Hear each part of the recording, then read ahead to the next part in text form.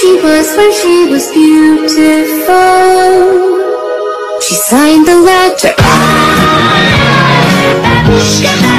I